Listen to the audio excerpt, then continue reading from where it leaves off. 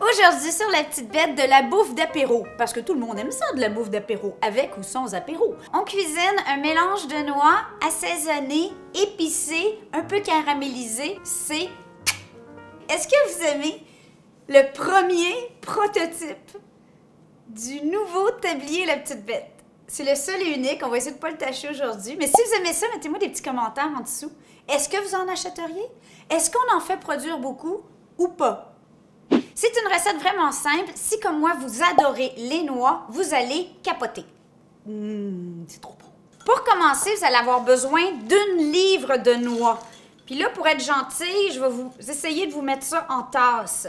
Le choix des noix est libre à vous. Hein? Euh, là, euh, c'est pas nous qui allons dicter. Vous pouvez regarder qu'est-ce qu'il y a disponible en vrac, qu'est-ce qui est le moins cher, qu'est-ce qui est le meilleur, qu'est-ce que vous avez qui traîne dans le congélo depuis longtemps, comme moi, j'avais plein de noix dans le congélo. Mes préférés pour le mélange aujourd'hui, j'ai pacane, noix de cajou, des amandes, des graines de tournesol, euh, des graines de, citrouille. Oh, j'ai oublié les graines de tournesol. Et des arachides. Là, évidemment, vous pourriez faire ça qu'avec des arachides si vous êtes fauché. Hein? C'est cher, les noix, hein? Et ça serait très bon aussi, en passant. Vous allez avoir besoin aussi, moi j'aime beaucoup les graines de sésame. Trois cuillères à table, soit environ une bonne poignée ou goût de graines de sésame grillées que je venais venir ajouter à mon mélange. Pour que ça se tienne, pour que ça soit grillé et agréable en bouche, parce que le sucre doit aussi caraméliser un peu sur les noix, je vais mettre un blanc d'œuf. Donc, au lieu d'utiliser, vous pourriez prendre du sirop d'érable, euh, mais J'aime bien l'effet du sucre. Un petit peu comme ma recette de granola maison. Je sais pas si vous avez essayé, mais céréales granola, c'est vraiment bon. D'ailleurs, je suis due pour en faire.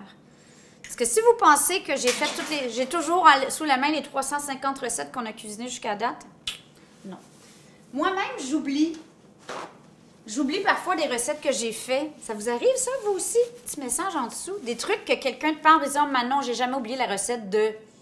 Puis là, tu dis, Oh mon Dieu, oui! Donc moi, c'est vos commentaires qui me rappellent mes recettes. C'est la beauté d'avoir une chaîne et un blog YouTube.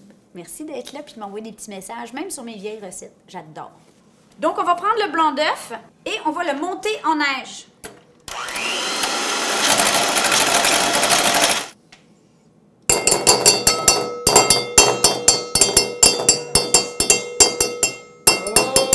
Est-ce que ça vous rappelle euh, quand vos enfants étaient petits?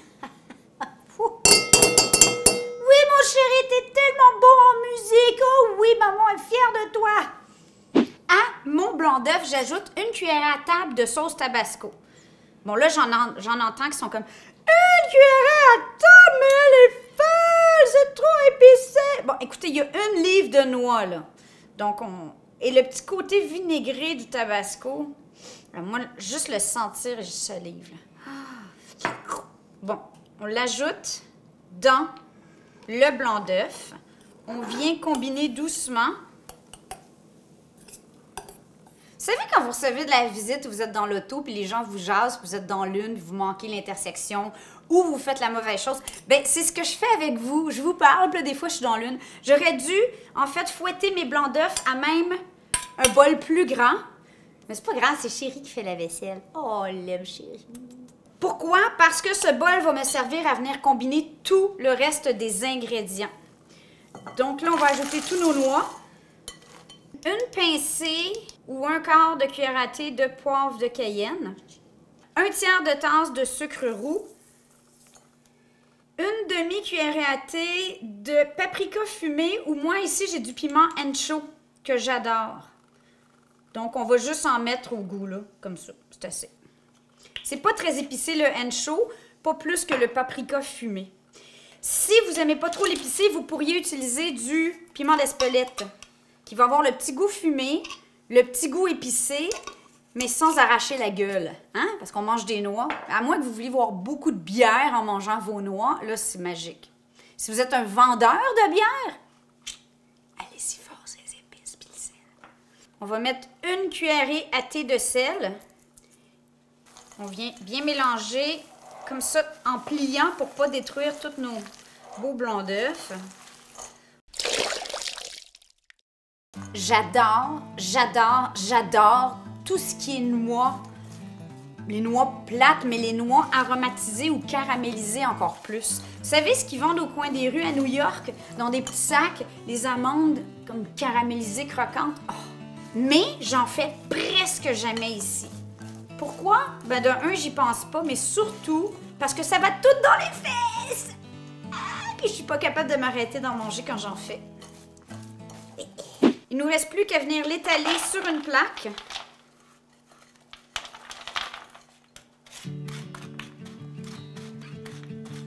Donc, on enfourne à 300 Fahrenheit pour environ 20 minutes, mais surveillez à partir de 15 minutes parce que vous savez que 300 Fahrenheit, malheureusement, si vous aviez un thermomètre dans chacun de vos fours, je vous garantis qu'ils ne seraient pas tous exactement à 300 Fahrenheit. C'est comme une science un peu inexacte. C'est pour ça que des fois, vous faites mon pain, puis vous dites, Manon, le mien est moins grillé, ou vous faites brûler un plat malgré le fait que vous allez fait à la même température que moi. Donc, toujours utiliser son jugement et toujours surveiller en cours de route.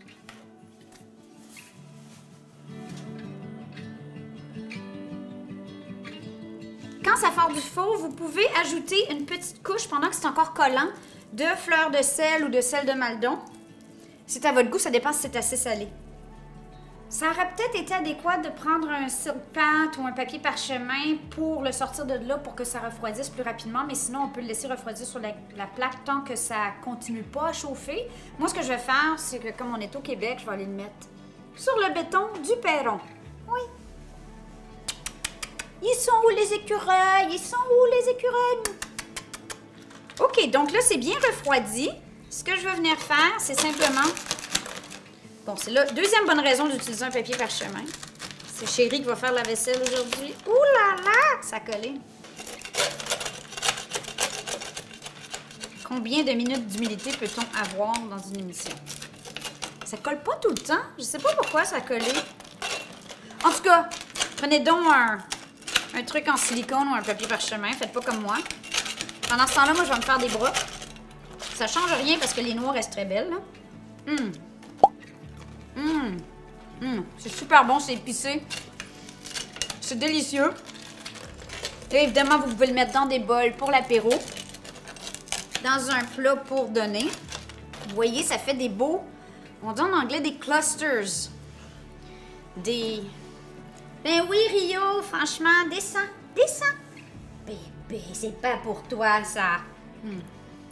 Salé, sucré, vinaigré, croquant.